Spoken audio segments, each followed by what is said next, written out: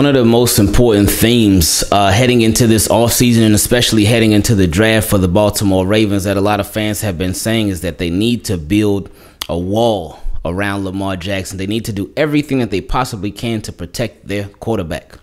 And this guy, Daniel Faalele from Minnesota, he literally is a wall all by himself. This guy is massive. He is huge. What is he? Six nine, almost four hundred pounds. That's that's an offensive line all by himself, man. That's a massive figure, man. And with him, the Ravens selected him in the fourth round. He was projected to be a second round pick. Some people thought he could even be a third round pick, but the Ravens got him in the fourth. And that's something that you keep hearing about this Ravens draft this year is a steal. This guy's a steal. Wow, how did the Ravens end up getting this guy? He was projected to go a lot earlier. And this is yet another example of that. Now, with him, he is, I think he is actually the biggest player in the draft. Um, and he sort of like Orlando Brown Jr., but bigger. Bigger. Now, something that concerns me is that him being that big, um, the strength is there. Hey, and, and Ravens, ooh, you know Minnesota lined him up at fullback for that play. Don't let Ravens see. You know Ravens. Ravens probably already saw that, and they, you know, they're gonna end up doing something. Cause, Cause Ravens like tinkering around with stuff like that, so they're gonna end up doing something. So watch out for it. But anyway, um, he is huge. Uh, when I see pass rushers go up against him, if they try to bull rush, they try to rush him straight forward. No, that no, he'll he'll be fine dealing with that. My concern is for the pass rushers that if if he's not as bendy as uh, as he should be, if he can't, those guys that that get around and that sort of hit him with them swim moves, and that kind of get low on him, because that's where I would be concerned for for Lele. Um, because again, if you matching strength for strength, all right, he'll be just fine. But if you trying to match strength versus speed and technique, especially guys that's learning on an NFL level, that's where it can get a little more challenging for him, in my opinion. But at the same time, he'll also be learning on an NFL level as well. So he'll be able to work on his craft. He'll be able to come in, and he's somebody that this is going to be sort of a developmental guy for the Ravens. He's not going to come in and start right away. At least you you would hope not uh, because that would mean that somebody was hurt. So you hope not, but he's one of those pieces that you got in the back. He's one of those stay ready so you ain't got to get ready. And Ravens, they needed to do this. They needed to get those pieces, especially along the offensive line, because we saw last year.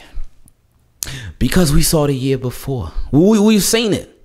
And the Ravens have this has been an issue for years, them needing to really upgrade the quality of the offensive line as a whole, and them needing to have backup options for particularly Ronnie Stanley the most, because you know how his history has been, unfortunately. Hopefully this year it changes, but again, stay ready so you ain't gotta get ready. Um, so now the Ravens, uh, they have drafted Linderbaum at center. They drafted Daniel Faalele, who was a right tackle in Minnesota. And shout out to Rashod Bateman. I guess the Ravens were like, you know what? Drafting from Minnesota is so nice. We want to do it twice, two years in a row. And, uh, you know, Bateman's happy about this. He gets somebody that he's obviously familiar with, went to the same school. Um, but their offensive line, uh, the, the depth and the quality has definitely gone up from last year. You, you get the best center in the draft not just a center, but the best center in the draft, and one of the best center prospects that have been coming out for a long time.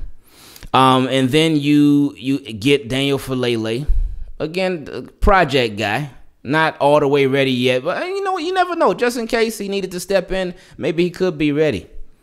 Um, but then you sign Morgan Moses as well. You hope that Ronnie Stanley is healthy. You hope that Ja'Wuan James is healthy. Tyre Phillips he should be coming back healthy. Uh, he'll probably be more at guard though. I don't think they're gonna. I don't think they're gonna do the tackle thing with Tyre Phillips no more. At least we hope not. Um, you got uh David Sharp. I always feel like I say his name in the wrong way. Maybe it's Daniel. Sharpe. No, I think it's David Sharp. But anyway, so right now the the quality is better. It's better than it was last year, and of course a lot of that is pending health. But this, I I, I do like this pick because it helps again build the wall, protection, protection for Lamar Jackson, protection for, and, and of course with him, with him. I know my my guy Cam Neal talks about it all the time. With offensive linemen, they they love to run block because if you're an offensive lineman and you pass blocking, you got to wait for the defender to come engage with you. You got to wait for the defender to come your way. But if you run blocking, oh yeah, you get to go at the defender. You get to initiate contact. You get to go knock somebody on it behind. So he can not only help protect Lamar, but he can also help open stuff up for the running backs. If if he gets his chance, if and when he gets his chance and opportunity. Um, the most that I would expect to see him early on, obviously in the preseason, I wouldn't really expect to see him uh, on game day because again, like I said, Ravens they have their guys right now. Like their starting offensive line, barring injury, would be pro- projected to be Ronnie Stanley, left tackle, left guard. Could be Ben Cleveland, could be Tyre Phillips. That's still undecided. Center Tyler, oh, could be Patrick Mekari too. Center could uh, will be Tyler Linderbaum. Right guard will be Kevin Zeitler. Right tackle will be Morgan Moses.